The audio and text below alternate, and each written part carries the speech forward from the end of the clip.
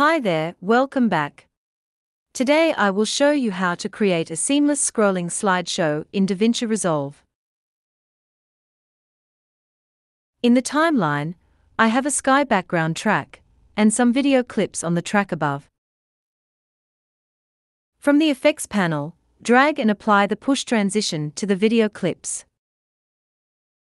You can also duplicate the transition by holding the Alt or Option key while you drag the transition effect from one clip to another.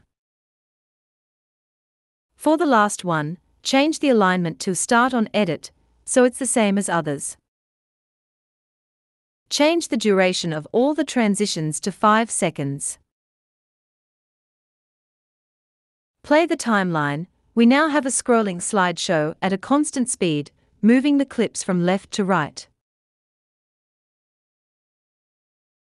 To change the push direction, select all transitions. Holding the Control or Command key when you click an individual transition to add it to the selection.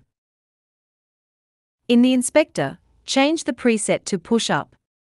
The slideshow is now scrolling up. If you want to have some space between each clip, Drag to select all the clips and change the zoom parameter.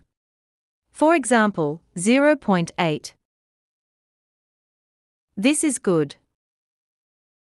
Select all the clips and transitions, right click and select New Compound Clip. You can keep the default name, or change to a name of your liking.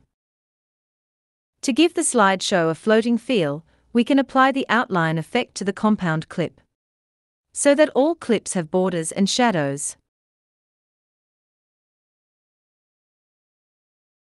In the inspector, increase the pitch. Change the zoom parameter. And we now have a scrolling slideshow like in a 3D space.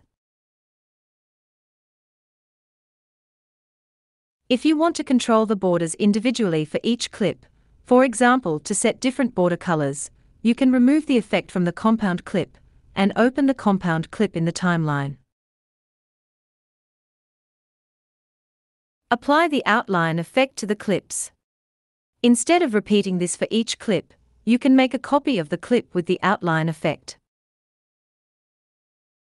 And then select the rest of the other clips, press Alt V or right click and choose Paste Attributes. Make sure the Fusion Effects is checked. Click Apply. All the selected clips now have the outline effect applied.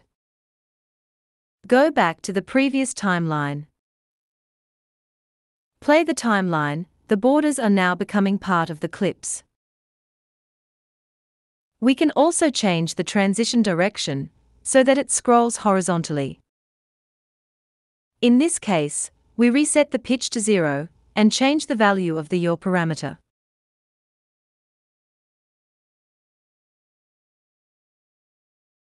Similarly, we can use the same method for text titles like we see in Star Wars movies. Alright, that's all for today. Thanks for watching, and see you next time.